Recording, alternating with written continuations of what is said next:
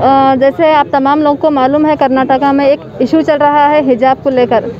तो ये कर्नाटका में उड़पी से कुंदापुर से होते हुए आज गुलबर्गा ज़िले में भी अटैक हो गया है।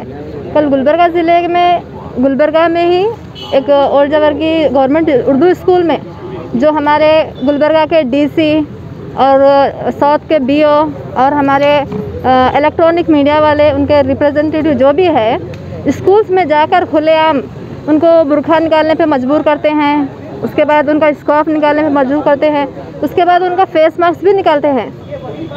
ये फेस मास्क निकालना, ये हिजाब निकालना बुरखा निकालना, इनको अधिकार पहले कौन दिए? मैं ये क्वेश्चन पूछना चाहती हूँ। किसने ये अधिकार दिया?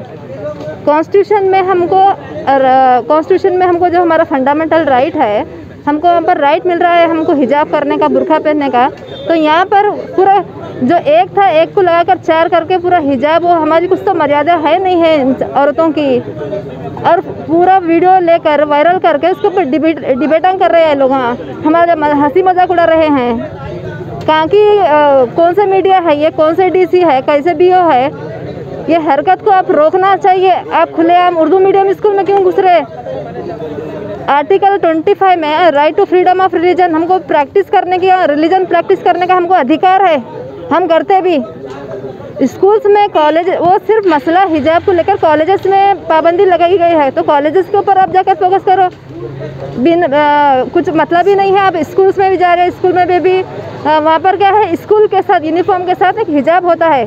देखिए ये सिर्फ़ कॉलेज कमेटी के लोग सिर्फ़ कॉलेज के लिए ही प्रेस्क्राइब करें पर्टिकुलरली यहाँ पर क्या हो रहा मसला? कॉलेज को छोड़कर अब दूसरा यहाँ पर भेदभाव कर रहा ना? तो स्कूल के बच्चों को डरा रहे स्कूल के बच्चे माइनर है, उनको कुछ भी नहीं मालूम है। और हमारे जो रिलीजियस स्कूल रहते हैं, जैसे उर्दू मीडियम वहाँ पर बुरखा कुछ स्कूल्स में बुरखा भी अलाउ रहता कुछ स्कूल्स में हिजाब के साथ ड्रेस यूनिफॉर्म दिया जाता। तो वहाँ पर भी उनको मजबूर कर रहे हैं। यूनिफॉर्म निकालो, हिजाब निकालो।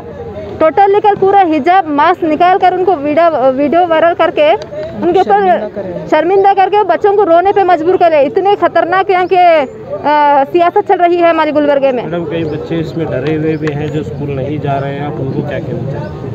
मैं मैं जो डरे हुए बच्चे हैं मैं उनको ये हिम्मत अफजाई देना चाहती हूँ। आप बिल्कुल ना डरे। अगर आप पर रोक लगाते हैं आप एग्ज़ाम छोड़ो लेकिन एग्ज़ाम कल दे सकते। लेकिन जो हिजाब का मसला आज है, ये इसको बड़ा इशू करने की कोशिश की जा रही है। क्योंकि गुजरात में यूपी में जो होगा, वो कर्नाटक में जो आने वाले इलेक्शन में राजनीति करने के चक्कर में है लोग।